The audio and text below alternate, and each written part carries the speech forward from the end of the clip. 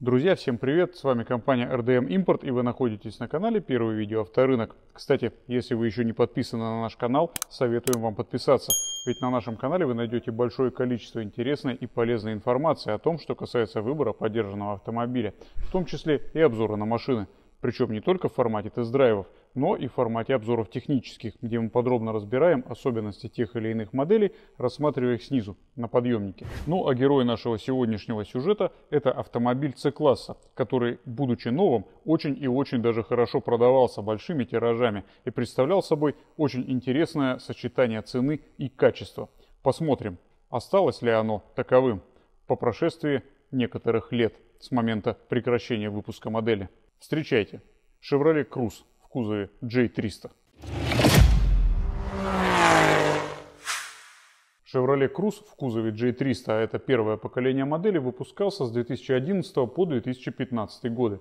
В 2012 модель подвергли рестайлингу. Этот автомобиль построен на платформе Delta 2, на той же самой, на которой строилась, например, Opel Astra F – и эта модель была призвана заменить устаревший Лачетти в модельном ряду компании. На разные рынки эта модель могла также поставляться под различными наименованиями. Эту машину вы могли купить в одном из трех вариантов исполнения в том, что касается кузова. Он мог быть седаном, универсалом, либо хэтчбеком, на ваш выбор. Что касается моторной гаммы, на этот рынок данные автомобили поставлялись только с бензиновыми ДВС объемом 1,6 литра на 109 и 124 лошадиные силы, 1,8 на 141 лошадиную силу и уже с 2013 года пошел мотор с турбонаддувом 1.4 объем и 140 лошадиных сил мощности, который агрегатировался только с автоматической коробкой. Все прочие варианты вы могли купить с пятиступенчатой механикой, либо с автоматом на выбор. Ну а привод у этой модели был предусмотрен только на переднюю ось. Наш сегодняшний экземпляр – это рестайлинговый автомобиль 2013 года выпуска с двигателем 1.8 на 140 лошадей и автоматической коробкой передач. По традиции в начале обзора пару слов скажем про кузов автомобиля, про то, насколько хорошо он сопротивляется нашим дорожным реалиям и про качество и толщину лакокрасочного покрытия. В том, что касается значений толщины ЛКП, Chevrolet Cruze, кстати, выбивается из общепринятых норм от 90 до 140, которую можно наблюдать на большинстве корейских либо японских автомобилей. Все попадавшие к нам крузы имели разброс показаний по толщиномеру от 100 до 170 микрон, где-то плюс-минус так. Возможно, это связано с тем, что большая часть этих автомобилей на вторичном рынке была не импортирована, а собрана в России на сборочном предприятии в городе Шушара. Но так или иначе, у Круза довольно толстый окрас. В этом плане он напоминает Ford Focus.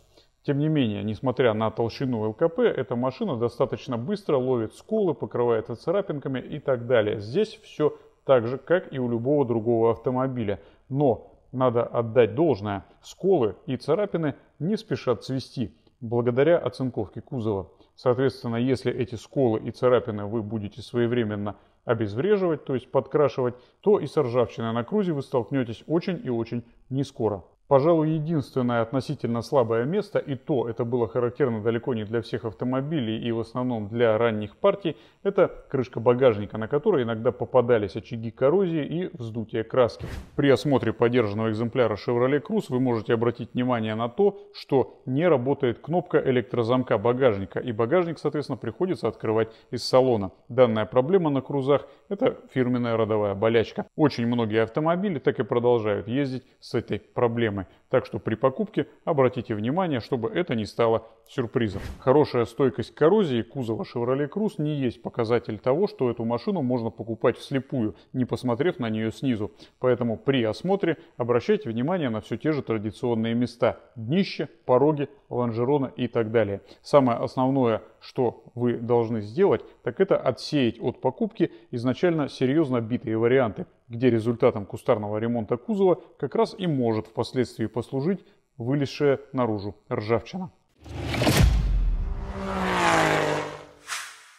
Что касается салона и электрооборудования, то при осмотре подобного автомобиля обязательно проконтролируйте работоспособность подогревов сидений, центрального замка, всех стеклоподъемников и на всякий случай прощелкайте климатическую установку по всем направлениям обдува и по всем режимам работы. Также покрутите э, ручку управления температурой от холодного до горячего. Если никаких посторонних звуков и шумов здесь нет и установка исправно работает, все отлично. Но бывают эпизоды, когда ломаются тяги, управляющие заслонками. И в этом случае климатическая установка может либо не переключать режимы обдува, либо дуть только горячим или только холодным воздухом. Дабы после покупки не разбирать торпеды и не заниматься заменой, в общем-то, недорогих деталей, проконтролируйте этот момент заранее. Ну а теперь поговорим про двигатели, которые можно обнаружить под капотом Chevrolet Cruze, если вы покупаете такой автомобиль на вторичном рынке в России. Первый базовый двигатель – это рядная четверка, который носит индекс F16D3. Этот мотор ведется в родословную от старинного апелевского Z16XE образца начала 2000-х годов. И этот двигатель представляет собой крайне простой по конструкции агрегат. Это рядная четверка, причем блок цилиндров здесь чугунный, а не алюминиевый. Здесь нет фазовращателей, зато есть гидрокомпенсаторы зазоров клапанов. Соответственно, заморачиваться с их регулировкой на самом базовом моторе Круза вам не придется, в отличие от всех последующих. Привод ГРМ на этом двигателе ременный, и ремень этот не отличается, к сожалению, особой долговечностью. Пробег до замены около 60 тысяч километров. И, кстати, при обрыве ремня F16D3 с радостью загнет клапана. Поэтому во избежание дорогостоящего ремонта после покупки такого автомобиля, если у вас нет достоверной информации о том, что предыдущий собственник поменял ремень ГРМ и в ближайшее время этого делать не нужно, можете эксплуатировать машину. Но если такой информацией вы не обладаете, от греха подальше лучше ремень ГРМ заменить. Что касается каких-либо типичных проблем или неисправностей для базового двигателя, то здесь в принципе все стандартно. Так же, как и на любой другой машине, может подкинуть вопросов термостат, может потечь прокладка клапанной крышки, чаще это случается уже на пробегах за сотню и далеко за сотню. И в запущенных случаях масло может также оказаться в свечных колодцах, что приведет к перебоям работы системы зажигания. В этом случае прокладку, конечно, придется менять в срочном порядке. Зато с базовым двигателем вам вряд ли будет знакома проблема бегущего теплообменника в связи с его отсутствием на данном силовом агрегате. Но F16D3 имеет систему EGR, рециркуляции отработавших газов. Когда придет время EGR чистить, вы поймете это по ухудшившейся динамике мотора. Ну а некоторые владельцы предпочитают вообще эту систему из работы выключить. В общем и в целом, чугунная четверка F16D3 способна отработать порядка 250-300 тысяч километров пробега до ремонта. И если с чем-то и приходится сталкиваться владельцам данных двигателей, то, как правило, это с заменой маслосъемных колпачков. Кстати говоря, расход масла на этих моторах официально допускается в районе 0,6 литра на 1000 километров пробега. Но на практике это, конечно, многовато и как минимум означает, что требуют замены те самые колпачки. Следующие два агрегата под капотом Круза в основном отличаются рабочим объемом. Это F16D4, который появился на рестайлинговых машинах на 124 лошадиные силы, и F18D4, как в нашем случае, на 140 лошадиных сил. Первый, соответственно, 1.6, а второй 1.8. Это также чугунные четверки, по апелевской терминологии Z16 и Z18XER. Однако, в отличие от самого простого двигателя на 109 лошадей, эти моторы уже имеют фазорегуляторы. И к этим фазорегуляторам как раз таки возникают достаточно много вопросов у людей, эксплуатирующих подобный автомобиль. Так что, если вы смотрите эту машину, убедитесь, что фазорегуляторы нормально работают, а не издают каких-либо посторонних звуков, стуков и так далее. В случае чего можно попробовать отделаться чисткой клапанов фазорегулятора, но не факт, что это поможет, и тогда уже замена компонента. В отличие от младшего мотора на F16D4 и F18D4 гидрокомпенсаторов нет, поэтому зазоры клапанов приходится регулировать самостоятельно. А вот в приводе ГРМ все так же используется ремень. Правда, срок его службы здесь побольше, около 120 тысяч километров пробега, но многие меняют также в 60 от греха подальше. Во всяком случае, наша рекомендация не затягивать с заменой ремня более чем 90-100 тысяч километров, поскольку при его обрыве клапана погнет так же, как и на базовом моторе. Ну а теперь, что касается моментов, на которые стоит обращать внимание по данным двигателя. Первое. Прокладка клапанной крышки здесь тоже не вечная, и она также может начать сопливить и течь на пробегах более 100 тысяч километров. И точно так же масло здесь может попадать в свечные колодцы. Поэтому при осмотре автомобиля на сухость прокладки, конечно, нужно обращать внимание. Кстати сказать о системе зажигания F16D4 и F18D4 в данном случае используется модуль зажигания. По сути дела, одна общая катушка на все четыре цилиндра. С одной стороны, это достаточно удобно. В случае, если двигатель затроил и появились ошибки по пропускам по цилиндрам, не нужно искать сбоящую катушку. Выдернули модуль, поставили новый и все. С другой стороны, по сравнению с индивидуальными катушками, модуль стоит больших денег. Однако поменять модуль зажигания на данных двигателях оказывается во многих случаях дешевле, чем покупать 4 катушки на любой другой автомобиль. Также нужно иметь в виду при осмотре круза с подобным двигателем, что эти моторы имеют теплообменник, где циркулирует масло и где циркулирует антифриз. Теплообменник этот находится за впускным коллектором и может проявлять себя в нескольких ипостасях. Самое очевидное – это течь масла наружу. В этом случае вы увидите, что вся нижняя часть двигателя за впускным коллектором в районе масляного фильтра будет в буквальном смысле уделана свежим маслом. И просмотреть подобное, особенно если вы подняли машину на подъемнике и смотрите снизу, вы просто не сможете. Но на всякий случай имейте в виду, что смешивание масла и антифриза в данном случае может происходить и без протечек наружу. Поэтому обязательно посмотрите в расширительный бачок системы охлаждения на предмет наличия там эмульсии масла с антифризом. Если она там есть, от покупки такого автомобиля либо откажитесь, либо требуйте хорошую скидку на устранение проблемы. Также на данных двигателях установлен не обычный термостат, а термостат с электронным управлением. И в случае выхода из строя его нагревательного элемента, что будет сопровождаться появлением соответствующего кода ошибки при диагностике сканером, вам придется этот термостат менять в сборе, практически без вариантов. Не сказать, что узел этот очень дорогой, но суммарно замена данного компонента в реалиях 2022 года на 6-8 тысяч рублей ваш карман облегчит. Так что если по сканеру выявляются проблемы с термостатом, также смело торгуйтесь. Несмотря на наличие некоторых, скажем так, особенностей и по части эксплуатации тоже, в целом и эти два мотора следует признать достаточно надежными. Эти чугунные четверки способны отбегать в среднем около 350 тысяч километров, прежде чем потребует какого-либо вмешательства. Во всяком случае, со стороны цилиндра поршневой группы сюрпризов от этих движков ждать не стоит. Последний двигатель в агрегатной линейке Круза – это А14NET. Чугунная рядная четверка, однако оснащенная турбонаддувом. В приводе ГРМ у турбомоторов уже цепь, соответственно, лазить туда раньше, чем на 180-200 тысяч километров пробега особо не приходилось. Хотя в некоторых случаях цепь могла, конечно, потребовать вмешательства и раньше. Все зависит от качества используемого масла и от режима эксплуатации данного мотора. Кстати говоря, А14NET мотор фазный, соответственно, за фазорегуляторами также нужно поглядывать. Если появилось какое-то нехарактерное громкое и жесткое дизеление, скорее всего, те самые муфты фазовращателя уже просятся на замену. Что касается ресурса турбины на 14 NET, то если двигатель не подвергался доработкам, турбина спокойно отработает за 150 тысяч километров пробега, а в некоторых случаях и за 200. Тем более, что впрыск топлива у этого турбомотора обычный, соответственно, каких-либо проблем по топливной системе здесь по большому счету нет. А вот систему EGR также нужно время от времени чистить. При покупке автомобиля с турбомотором первое, на что надо обращать внимание, это на то, а, нет ли посторонних звуков при его работе. Ну а второе это сухость.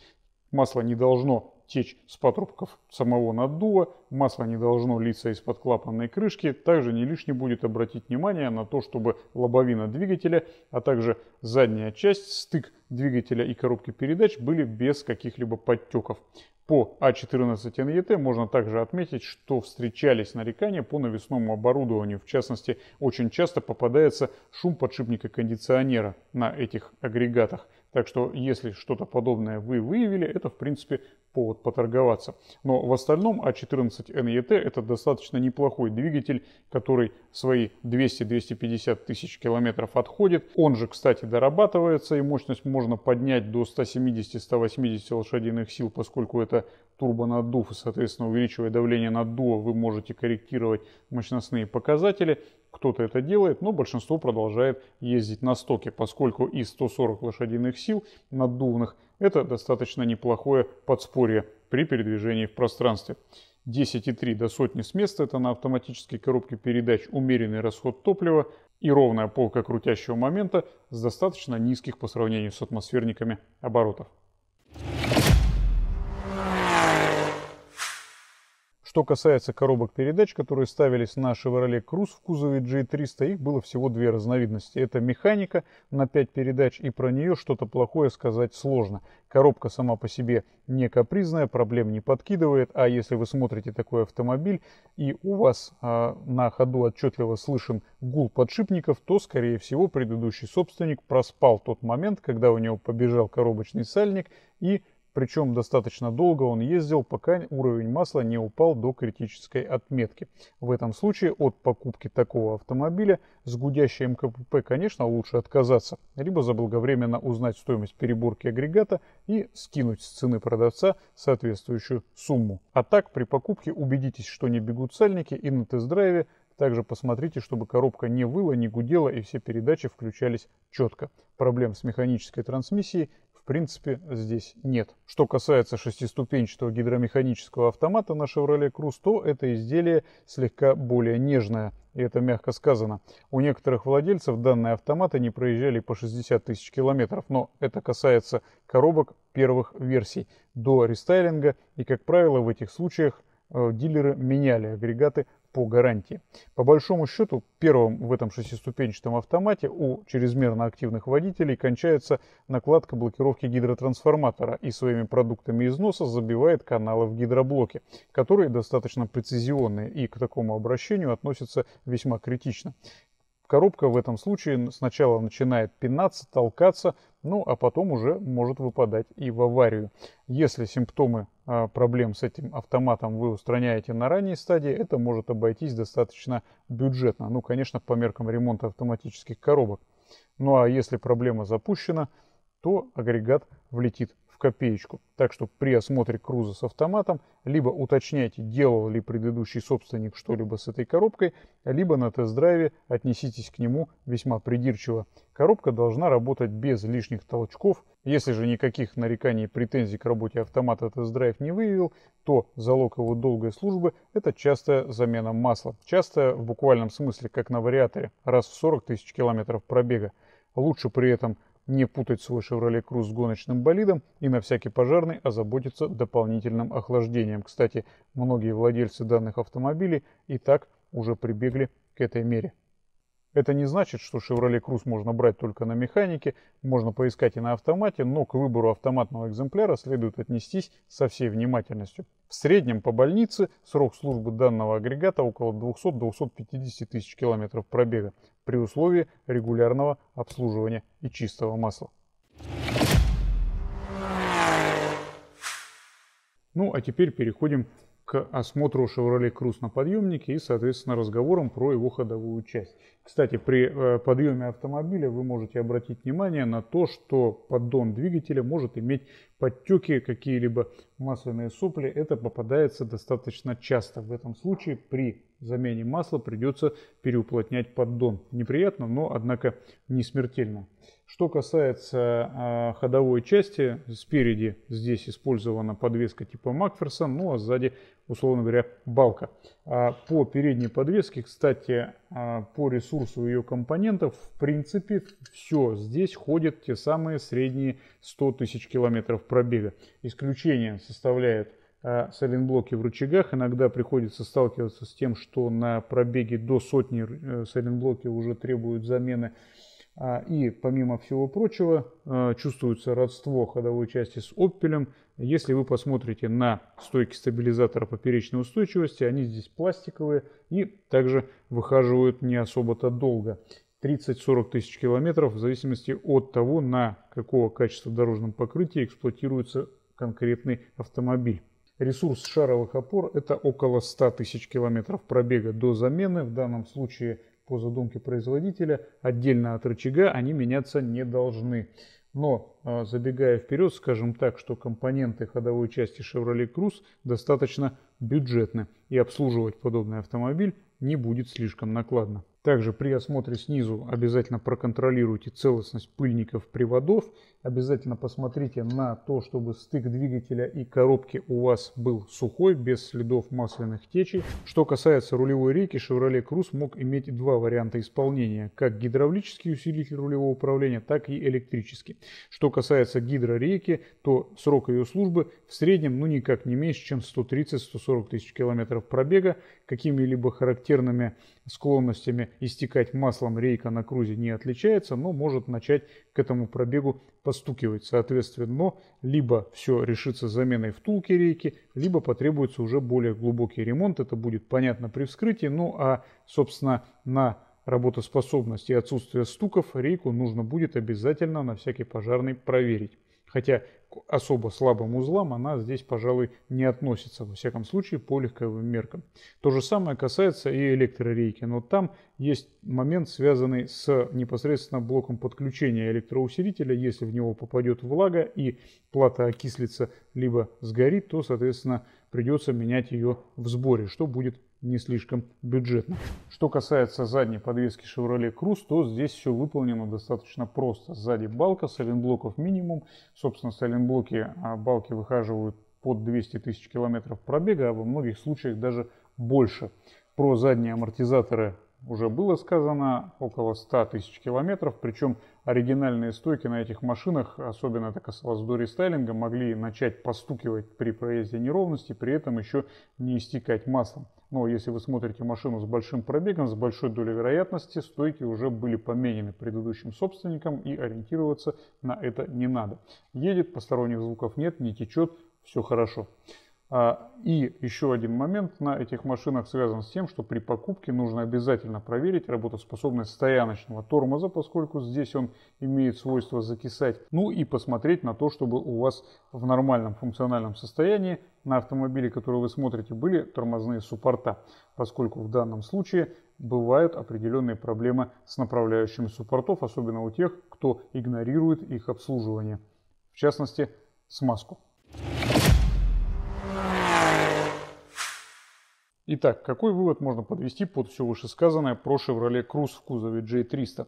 Этот автомобиль однозначно можно рассмотреть к покупке, потому что в активе у этой машины, как ни странно, самый дорогой компонент любого автомобиля – это кузов. А кузов здесь, если он не был крепко ударен, очень хорошо и долго сопротивляется коррозии. Что касается моторов, то на Chevrolet Cruze в принципе проблемами с поршневой группой двигатели не страдают, а это уже очень и очень неплохо. Все остальные проблемы, связанные с данными моторами, либо легко диагностируются, либо не особо дорого устраняются. Да и далеко не факт, что вы как владелец Круза соберете все, что с ним может случиться именно на своем автомобиле, особенно если будете выбирать его с открытыми глазами.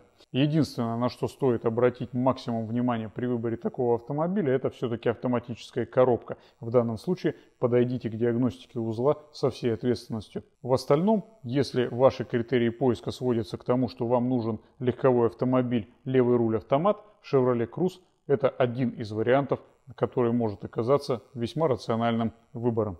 Ну вот и все на сегодня. Если данный обзор был вам полезен, понравился, ставьте лайки, подписывайтесь на наш канал и пишите в комментариях, какие автомобили вы хотели бы видеть на нашем подъемнике в будущем. Ну а мы в свою очередь постараемся их для вас раздобыть и заснять.